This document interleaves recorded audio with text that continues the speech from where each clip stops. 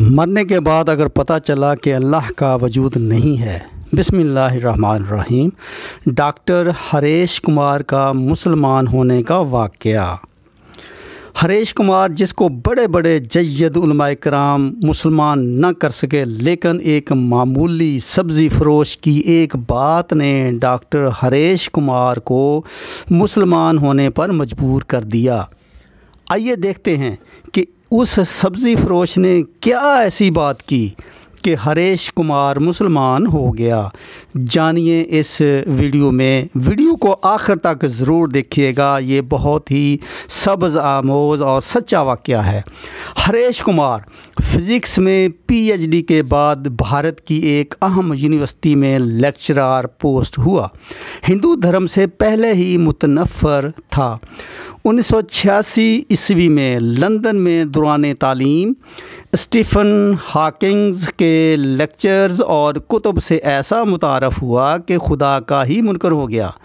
اور ایسا منکر کہ بڑے بڑے مسلم، عیسائی اور یہودی علماء سے بھرپور مباحثہ کرتا۔ یہاں تک کہ ڈاکٹر ذائقر نائک بھی اسے قائل نہ کر سکے۔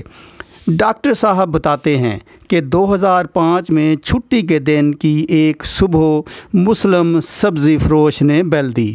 ہم گزشتہ بیس سال سے سبزی اسی سے خرید رہے تھے۔ اس دن میں نے اسے چائے کی آفر کی تو اس نے قبول کر لی۔ حسب معمول، خدا یا اللہ کے وجود پر اس سے بحث شروع کر دی۔ تیس منٹ کی گفتگو سے معلوم ہوا، وہ سیدھا سادہ مسلمان ہے جو پانچ وقت نماز پڑھتا ہے۔ ہاں وہ سودے میں بہت ہی صاف گو اور ایماندار تھا۔ مناسب دام میں بیچتا تھا۔ آخر چلتے ہوئے اس نے ایک ایسی بات کی جس نے میری زندگی ہی بدل دی۔ وہ کیا تھی؟ ڈاکٹر جی تم نے خود بولا کہ تقریباً چھ ہزار سال سے دس ہزار سال سے انسانی تاریخ میں پیغمبروں کی کہانیاں چل رہی ہیں اور سب کے سب ایک اللہ اور جنت دوزخ کی بات کرتے ہیں اور سائنس مرنے کے بعد کے حالات کا جواب ہی نہیں دے سکتی۔ تو اب دو ہی امکانات ہیں۔ نمبر ایک، اللہ کا وجود نہیں ہے۔ نمبر دو، اللہ ہے۔ اگر تو اللہ کا وجود نہ ہوا تو مرنے کے بعد ہم دونوں برابر ہوں گے۔ لیکن اگر آگے چل کر اللہ موجود ہوا، آپ تو پھر پکڑے جائیں گے۔ دونوں صورتوں میں فائدے میں کون ہوا؟ آپ خود ہی فیصلہ کر لینا۔ اس لیے بہتر یہ ہے، اللہ کو مان لیں اور اس کے کہنے پر چلیں۔ اس کا قرآن تو انسان کو سیدھی راہ پہ چلنے کا کہتا ہے۔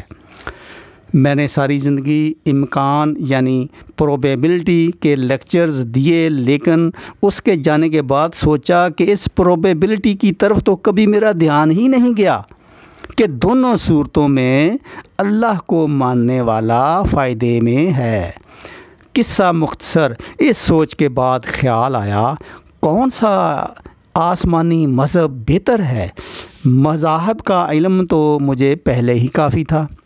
ڈاکٹر ذاکر نائک کے ایک لیکچر میں چودہ سو سال سے پورا قرآن مجید کا حرف بحرف ایک ہونے کا سنا، تو انگلینڈ میں کرسچن مشنری ادارے سے اس کی حقیقت دریافت کی۔ تو سب نے اس بات کی تصدیق کی، الحمدللہ، آج مجھے اور میرے سارے گھر کو مسلمان ہوئے پندرہ سال ہو گئے۔ میں اسلامی تعلیمات کے لیے کیرالہ شفٹ ہو گیا۔ میری تین بیٹیاں حافظ قرآن ہیں اور اللہ کریم نے میری زندگی ہی بدل دی۔ لیکن اس سبزی والے عبد الاحد سے دوبارہ میری ملاقات نہ ہو سکی۔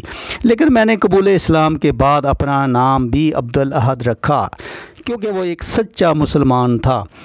اختر گوندل صاحب کا بہت بہت شکریہ جنہوں نے مجھے کینیڈا سے یہ تحریر بھیجی اور میں نے اللہ کا پیغام دوسروں تک پہنچانے کے لیے اس کو ویڈیو کی شکل میں اپلوڈ کر دیا ہے۔ کمنٹس میں اپنے خیالات ضرور بیان کریں۔